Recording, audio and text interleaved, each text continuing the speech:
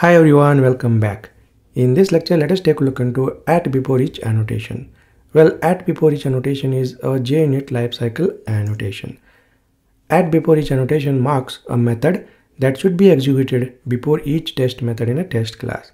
Well, whenever you want to mark a method that should be executed before each test method in a test class, then you can go ahead and annotate that method with at before each annotation.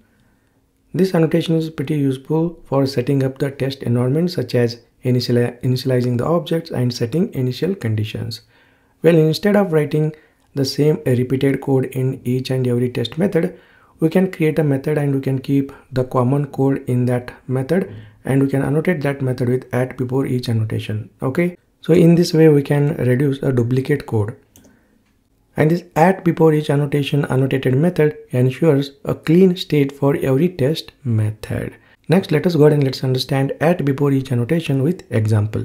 So let's go to our project in IntelliJ IDEA and here go to the test package and go to the annotations package over here and here right click new and then choose Java class. Let's give class name as before each demo test. Next, within this class, let's create a test methods. Well, here we have a calculator class. It has a methods add, subtract, multiply and divide. Next, let us go ahead and let's write the JUnit test cases to unit test all these methods. And then we'll use at before each annotation to mark a method that should execute before all the test methods. Okay.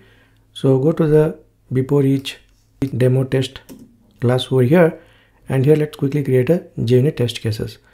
Well, in previous lecture, we have already written a JUnit test cases to test calculator class methods. So let's quickly copy it. Go to the disabled calculator test class and here just copy these four JUnit test cases. So instead of writing the same code, let's copy it so that we can save some time. And here let's remove this disabled annotation and let's also remove the import. Perfect. Now we have add test JUnit test case. Within that we have written a logic to unit test this calculator add method. Next here we have subtract test JUnit test. Within that we have written a logic to unit test subtract calculator method. Next here we have multiple test JUnit test case. Within that we have written a logic to unit test multiply calculator method.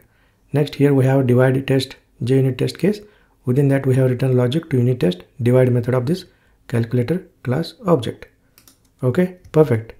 Next, if you closely observe this code over here, we have created the instance of calculator class each and every JUnit test case. Okay, and think like why not we create a common method and we keep this common piece of code in a common method and we can call in a respective places okay? So let's do that. So here let's create a method void and let's call it as setup. Okay? And within a setup method let's create a calculator class instance.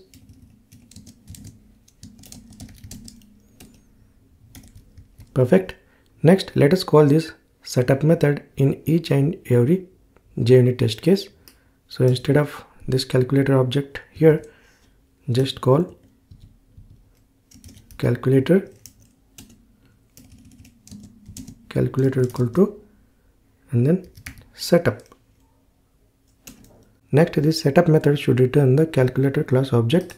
So here just change the return type of the method and let's add calculator. And here let's have return statement and then return calculator object.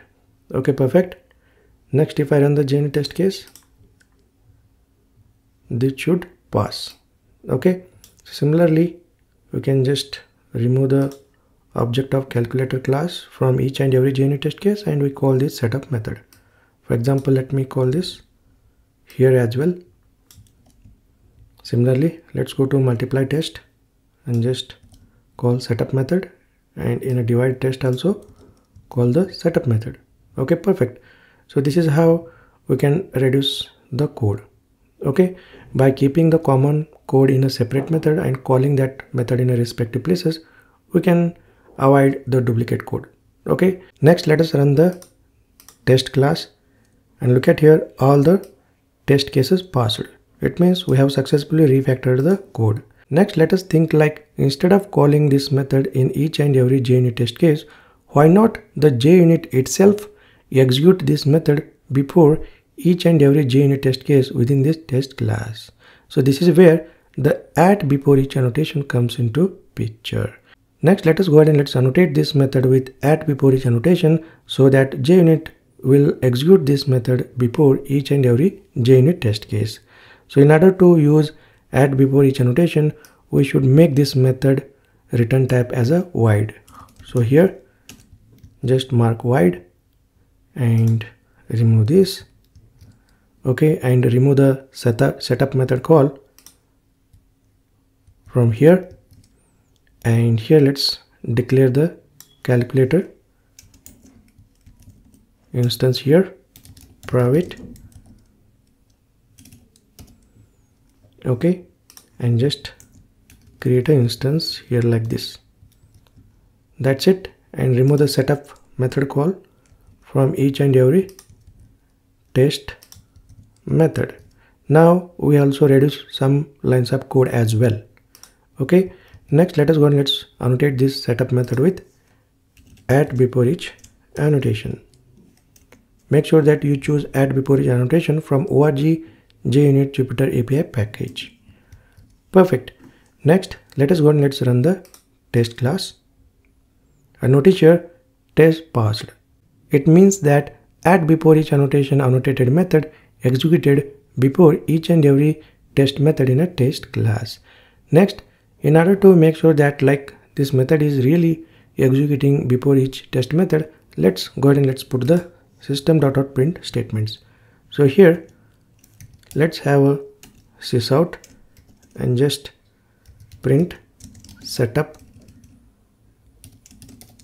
method calling something like that and just copy this system.println statement and go to add test method and here just paste it and let's call it as add test method calling and go to subtract test paste it and here just add subtract test method calling and then go to multiply test paste it and just change to multiply test method calling and go to divide test paste it. And here also change divide test method calling.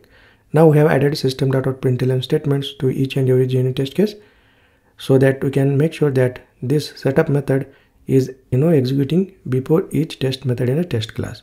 Next let us run the this test class and just check out check the result. And here you can see setup method calling before each and every test method. You can see setup method calling setup method calling setup method calling setup method calling.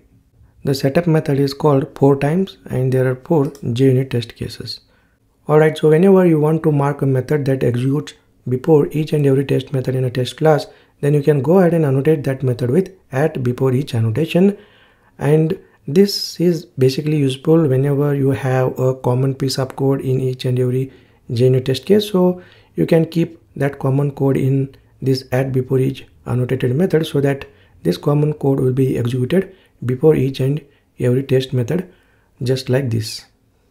Okay, great. In next lecture, we'll take a look into at after each annotation. Alright, great. I will see you in the next lecture.